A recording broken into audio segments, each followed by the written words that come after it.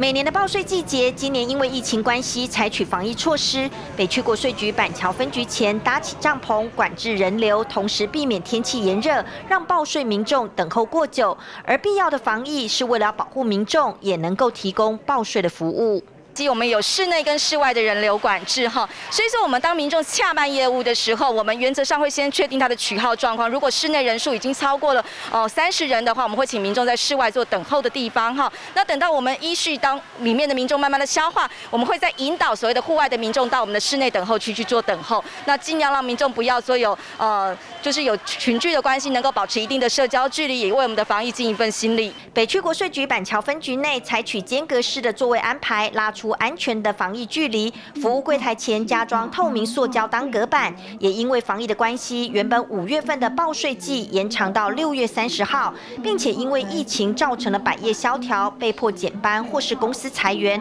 民众的资金不如以往宽松。如有缴税困难，检具文件证明，无需加征滞纳金及利息。